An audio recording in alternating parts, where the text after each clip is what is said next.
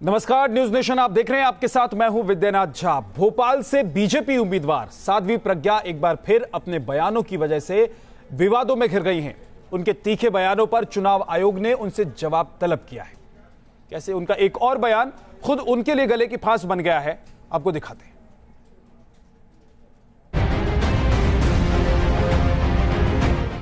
विवादों में घिरी साध्वी प्रज्ञा ठाकुर। तीखे बयानों पर चुनाव आयोग हुआ सख्त। भोपाल में कांग्रेस के दिग्गज नेता दिग्विजय सिंह के खिलाफ बीजेपी ने साध्वी प्रज्ञा ठाकुर को चुनाव मैदान में उतारकर मुकाबले को दिलचस्प तो बना दिया, लेकिन साध्वी के बयानों से पार्टी के लिए मुश्किलें भी खड़ी हो रही हैं। पहले शहीद हेमंत करकरे पर उनके बयान ने पार्टी को खूब असहज किया। तो राम मंदिर पर उनके विवादित बयान से विरोधियों को बीजेपी पर हमले बोलने का मौका मिल गया है।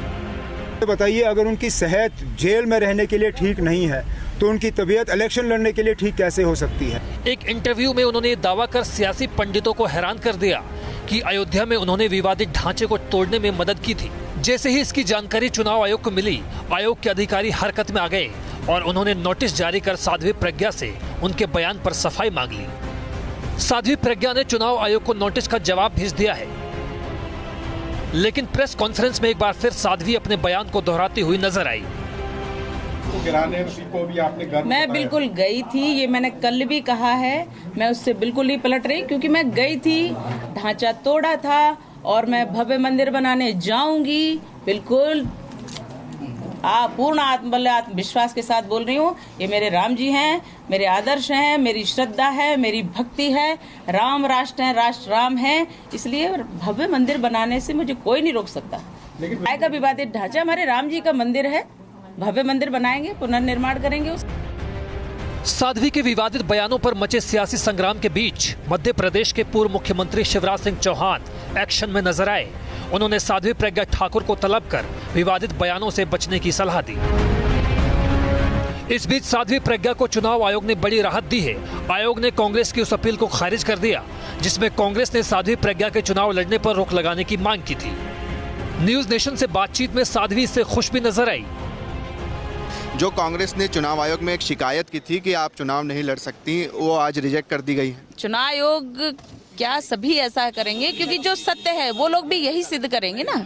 और मैं सत्य हूँ कोई कुछ भी कर ले।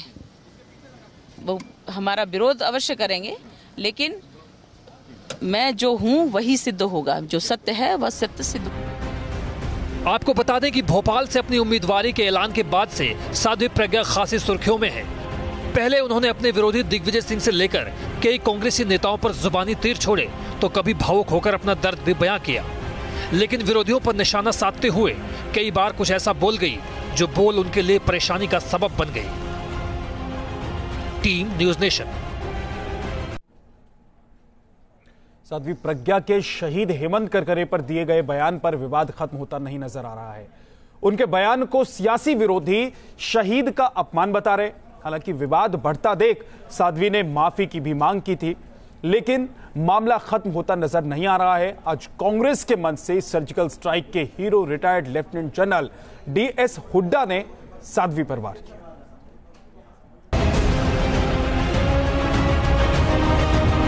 जब वो मुझसे पूछा, तमाम सारे प्रश्न करता था। क्यों?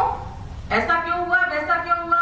मैंने तो मुझे क्या पता भगवान जाने तो क्या ये सब जानने के लिए मुझे भगवान के पास जाना पड़ेगा? मैंने कहा, बिल्कुल, अगर आपको आवश्यकता है तो आप अवश्य साध्वी प्रज्ञा के शहीद हेमंत करकरे पर दिए इस बयान से सियासी भूचाल आ गया। शहीद के अपमान को मुद्दा बनाकर विरोधी दलों ने इसी बहाने बीजेपी को घेरना शुरू किया। तो वहीं इस बयान को लेकर सेना और सुरक्षा बलों का आक्रोश भी सामने आया है। आज कांग्रेस के मंच से सर्जिकल स्ट्राइक पार्ट एक के hero retired lieutenant general DS Hooda ने ये मुद्दा उठाया और कहा कि किसी शहीद के बारे में इस तरह के बयान से बहुत दुख होता है। फिर चाहे शहीद पुलिस फोर्स से हो या सेना से। नहीं दुख तो होता है बिकॉज़ uh, कोई भी मार्टियर हो uh, चाहे पुलिस का चाहे आर्मी का ही must get you know all kinds of respect so you know these utterances are not not good Sadhvi के इस बयान ने 2019 के मुकाबले में फ्रंट फुट पर खेल रही बीजेपी को बैक फुट पर धकेल दिया है। पार्टी को इस पर सफ़ाई जारी कर ये कहना पड़ा कि ये साध्वी का निजी बयान है। पार्टी इससे इत्तेफाक नहीं रखती। पार्टी पर दबाव बढ़ता देख साध्वी प्रज्ञा ठाकुर ने भी माफ़ी मांगना ही बेहतर समझा। मैंने कहा, ये मेरे घर की बात है। घर में अगर किसी प्रकार की पीड़ा होती है तो हम अपने घर में निपट लेते हैं। पर अगर बाहर कोई दुश्मन हमारे खुश हो रहे हैं तो मैं बिल्कुल अपना बयान वापस लेती हूँ और क्षमा भी चाहती हूँ। कि हमारे बयान से कभी भी हमारे दुश्मन, देश के दुश्मन खुश न हो गए लेकिन मामला यही नहीं थमा। विपक्ष के हमले भी यही नहीं रुके। साथ ही साथ चुनाव आयोग ने साध्वी को नोटिस भेजकर आचार संहिता के उल्लंघन पर सफ़ाई भी तलब की। लेकिन बताया जा रहा है कि बीजेपी ने भले ही साध्वी के बयान से किनारा कर लिया हो, लेकिन पार्टी पूरी तरह उनके पीछे खड़ी है। साध्वी के बयान पर हुड्डा को आगे कर कांग्रेस ने एक बार फिर बीजेपी को घेरने की कोशिश की है। और इसकी काट ढूंढकर कांग्रेस पर पलटवार करना बीजेपी के लिए मुश्किल भरा होगा। Team, News nation. भोपाल से कांग्रेस के उम्मीदवार और एमपी के पूर्व सीएम दिग्विजय सिंह ने आज भोपाल को लेकर अपना विजन डॉक्यूमेंट पेश किया। इस दौरान उन्होंने पूर्व की शिवराज सरकार पर भी निशाना साधा और क्या क्या उन्होंने कहा, अब देखिए। भोपाल में साध्वी प्रज्ञा से मिल रही कड़ी चुनौती के बीच कांग्रेस उम्मीदवार दिग्विजय सिंह जीत के लिए हर तरकीब आजमा रहे हैं। अब चुनाव की नैया को पार लगाने के लिए दिग्विजय सिंह ने नया दांव चला है। उन्होंने भोपाल को वर्ल्ड क्लास सिटी बनाने का वादा किया है। शहर के विकास को लेकर दिग्विजय सिंह ने विजन डॉक्यूमेंट जारी किया, जिसमें भोपाल को टूरिस्ट हब बनाया जाएगा। भोपाल से देश के बाकी शहरों के लिए उड़ानों की संख्या बढ़ाई जाएगी। आसपास के बड़े शहरों को कॉरिडोर से जोड़ा जाएगा। किसान सिटी फ़ूड प्रोसेसिंग यूनिट बनाई जाएगी। वर्किंग वुमेन और स्टूडेंट के लिए छात्रावास की सुविधा मुहैया कराई जाएगी। कला को अहमियत देते हुए आर्ट सिटी और फ़िल्म सिटी बनाई जाएगी। बेरोजगारों को जॉब दिलाने के लिए भोपाल जॉब पोर्टल बनेगा। सुपर स्पेशलिटी अस्पताल हर अवार्ड में फ्री हेल्थ सेंटर भी होगा। इस दौरान दिग्गी ने पूर्व की शिवराज सरकार पर भी निशाना साधते हुए कहा कि शिवराज सरकार ने शहर के विकास को लेकर मास्टर प्लान नहीं पेश किया। मामा जी की सरकार को फुर्सत मिले तो मामा जी की सरकार कमाई में लगी हुई थी। मास्टर प्लान क्या होता है? नियम क्या होता है? कानून क्या होता है? जहाँ चाहो, कॉलोनी काटो। चुने हुए उनके कुछ में लोग थे। उनके माध्यम से कमाई करो। 2005 में मास्टर प्लान नहीं आया। 2015 में दस साल बाद फिर नहीं आया। ये है भारतीय जनता पार्टी का विकास का मॉडल। इससे पहले दिग्विजय सिंह ने आज भोपाल पहुँचे शंकराचार्य। स्वामी स्वरूपानंद का आशीर्वाद भी लिया। इस दौरान उनके साथ बड़ी संख्या में समर्थक भी मौजूद रहे। आपको बता दें कि बीजेपी ने भोपाल से दिग्विजय सिंह के खिलाफ कट्टर हिंदुत्व की छवि रखने वाली साध्वी प्रज्ञा को मैदान में उतारा है। यही वजह है कि दिग्विजय सिंह सॉफ्ट हिंदुत्व की राह पकड़कर मंदिर मंदिर और संतों के चरण पकड़कर चुनावी वैतरणी को पार करना चाहते हैं। Team, News nation. लोकसभा के रण में राष्ट्रवाद और राष्ट्रीय सुरक्षा पर काफ़ी बहस हो रही है। अगर यूँ कहा जाए कि राष्ट्रवाद चुनाव का प्रमुख मुद्दा बना हुआ है तो गलत नहीं होगा। पीएम नरेंद्र मोदी चुनावी रैलियों में राष्ट्रवाद पर ज़ोर देते देखे जा सकते हैं। अब कांग्रेस राष्ट्रीय सुरक्षा पर एक दस्तावेज़ लेकर आई है और इस दस्तावेज़ को पेश किया है आतंकी अड्डों पर सर्जिकल स्ट्राइक के रणनीतिकार रहे लेफ्टिनेंट जनरल डीएस हुड्डा ने। राष्ट्रवाद और राष्ट्रीय सुरक्षा। लोकसभा के मौजूदा रण में बीजेपी इस मुद्दे को ज़ोर शोर से उछाल रही है। अब बीजेपी को जवाब देने के लिए कांग्रेस ने बड़ी चाल चली है। कांग्रेस ने राष्ट्रीय सुरक्षा पर अपना दस्तावेज़ जारी किया है। सुरक्षित भारत के नाम से पेश किए गए इस विजन डॉक्यूमेंट के कर्ता धरता है retired lieutenant general D S Hooda, जिनकी देखरेख में भारतीय सेना ने 2016 में पीओके में घुसकर सर्जिकल स्ट्राइक को अंजाम दिया।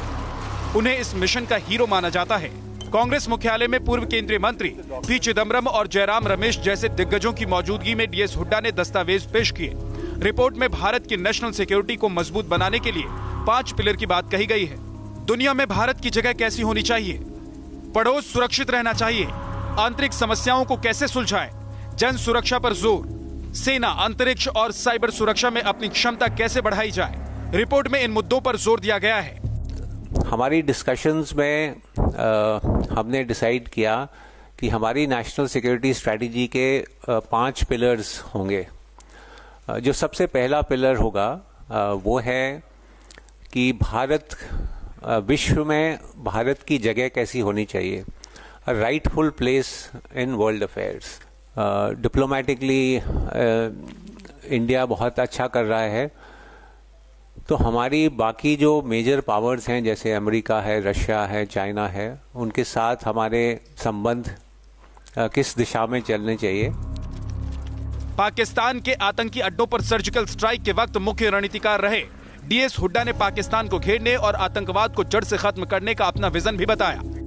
पाकिस्तान के साथ रिलेशंस हम किस तरह से लॉन्ग टर्म बेसिस पर देखते हैं?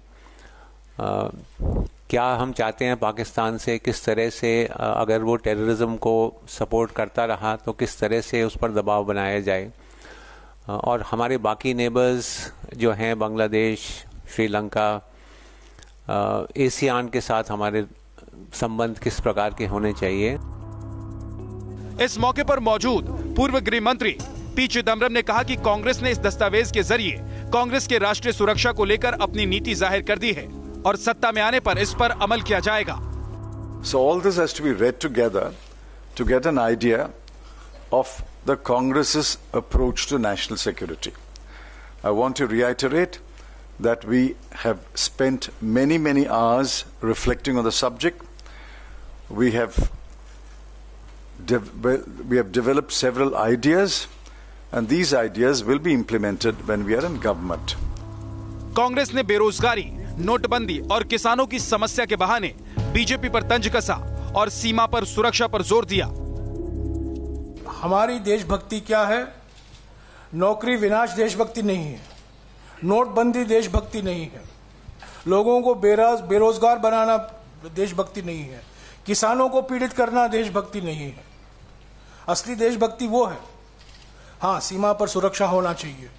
हाँ हमारे समाज के हरी हर एक वर्ग को आपस में भाईचारा के साथ रहना चाहिए। वो देशभक्ति है। सर्जिकल स्ट्राइक के अगवा रहे लेफ्टिनेंट जनरल डीएस हुड्डा के दस्तावेज़ के साथ कांग्रेस का आना बड़ा सियासी दाव है। डीएस हुड्डा ने कुछ दिनों पहले कांग्रेस अध्यक्ष राहुल गांधी को राष्ट्रीय सुरक्षा पर एक रिपोर्ट सौंपी थी। कहा जा रहा है कि उसी वक्त राहुल गांधी ने राष्ट्रीय मुद्दे पर उनसे बड़ा दस्तावेज़ पेश करने को कहा था। ज़ाहिर है कि सुरक्षित भारत दस्तावेज़ के ज़रिए कांग्रेस ने बीजेपी को उसी की पिच पर गुगली फेंकी है। Team, News nation. हरियाणा में आम आदमी पार्टी ने अपने तीन उम्मीदवारों के नाम का ऐलान कर दिया है। हालाँकि आम आदमी पार्टी नेताओं के चेहरे पर कांग्रेस के साथ गठजोड़ नहीं होने की कसक भी दिखाई दे रही दिल्ली में आम आदमी पार्टी और कांग्रेस के बीच गठबंधन की उम्मीदें करीब करीब खत्म हो गई हैं। तो वहीं हरियाणा में आम आदमी पार्टी, जेजेपी यानी जननायक जनता पार्टी के साथ लोकसभा चुनाव के रण में उतर रही है। दिल्ली में ज्वाइंट प्रेस कॉन्फ्रेंस में आम आदमी पार्टी ने हरियाणा के अपने हिस्से की सीट से उम्मीदवारों के नाम का ऐलान भी कर दिया है। फरीदाबाद से आपके प्रदेश अध्यक्ष नवीन जयहिंद चुनावी मैदान में उतरेंगे। तो अम्बाला सीट पर रिटायर्ड डीजीपी पृथ्वीराज सिंह को उम्मीदवार बनाया गया है। वहीं करनाल से वकील कृष्ण कुमार आपके टिकट पर चुनाव लड़ेंगे। फरीदाबाद से आम आदमी पार्टी के कैंडिडेट, श्री नवीन जयहिंद जी होंगे, जो पार्टी के प्रदेश संयोजक भी हैं। साथ ही साथ करनाल लोकसभा से एडवोकेट कृष्ण कुमार अग्रवाल को आम आदमी पार्टी ने अपना उम्मीदवार बनाया है। और अंबाला लोकसभा सीट से आम आदमी पार्टी ने पूर्व डीजीपी आईपीएस अधिकारी पृथ्वीराज जी को अपना कैंडिडेट आज घोषित किया है। प्रेस कॉन्फ्रेंस में ये भी ऐलान किया गया है कि दोनों दलों के नेता मिलकर चुनाव प्रचार करेंगे। ज्वाइंट मेगा रोड शो का प्लान हमने किया है जिसमें दिल्ली के मुख्यमंत्री और आम आदमी पार्टी के राष्ट्रीय संयोजक अरविंद केजरीवाल जी और जेजेपी के राष्ट्रीय अध्यक्ष दुष्यंत चौटाला जी और साथ ही साथ तमाम नेतागण दोनों पार्टियों के इस दो मेगा रोड शो में शामिल होंगे। दरअसल आम आदमी पार्टी दिल्ली के साथ साथ हरियाणा और चंडीगढ़ की सीटों पर कांग्रेस के साथ गठबंधन की उम्मीदें पाले हुई थी। लेकिन कांग्रेस दिल्ली को छोड़कर बाकी राज्यों में आपसे गठजोड़ के लिए तैयार नहीं थी। इसकी नाराज़गी भी आप नेताओं में दिखाई दी। कांग्रेस का जो मूल चरित्र है वो दिल्ली हरियाणा और चंडीगढ़ के अंदर भी देखने को मिला है और कांग्रेस जो है सारी बातें मानने के बावजूद भी अपने बात से पीछे हट गई है। आम आदमी पार्टी और जननायक जनता पार्टी ने लोकसभा चुनाव 2019 के लिए हरियाणा में गठबंधन किया है। इसके तहत सात सीटों पर जेजेपी और तीन सीटों पर आम आदमी पार्टी चुनाव लड़ रही है। Team News Nation. दूसरी तरफ़ दिल्ली में कांग्रेस के टिकट बंटवारे की लड़ाई अब सड़क पर उतर आई है। कांग्रेस के दिल्ली नॉर्थ वेस्ट सीट से राजकुमार चौहान की जगह किसी और को टिकट देने की अटकलें चल रही हैं और इससे राजकुमार चौहान के समर्थक नाराज़ हो गए हैं। आज वो सड़कों पर उतर आए, प्रदर्शन किया।